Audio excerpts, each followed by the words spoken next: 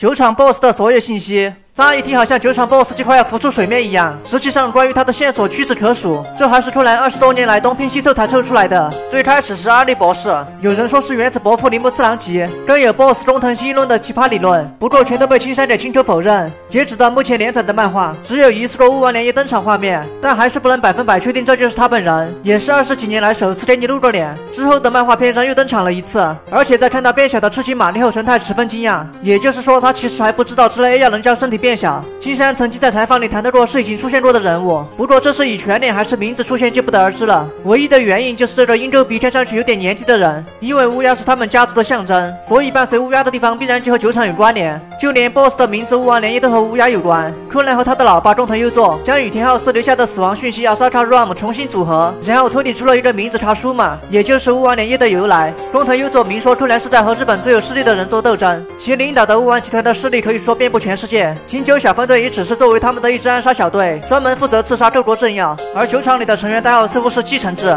因为朗姆的代号就是继承制他的父亲。曾经的他父亲则侍奉过乌王连耶。同时，酒厂也在研制着一种能逆转时光的药物。当时找到的软件工程师板上卓说，他们在研发一款足以毁灭全人类的程序。所以就这几点看来，酒厂绝对不是随便做点黑色产业这么简单。在被召集的名侦探一案里，提到乌王连耶早在四十年前就已经是将近百岁的老人，这也是柯南里被埋得最深的伏笔。揭晓他身份的寻找玛利亚一样，都已经隔了。七百多起案件里提到的那栋黄昏笔馆就是乌丸连一的家产之一，整栋笔馆都是由黄金打造，这在一个半世纪前可以说是天文数字的存在，就是放在如今也是十分炸裂。目前能找到乌丸连一的线索就是手机案件一，柯南当时偷听到贝奇给他发邮件，邮箱的案件应则为七只乌鸦，所以也推测到 BOSS 的邮箱地址在鸟取县。不过会员得知后及时阻止了他，因为他觉得这是不能打开的潘多拉魔盒。为了安全着想，柯南也没有再追查下去。而鸟取县其实就是新山的故乡，把 BOSS 安排在那里其实十分合理。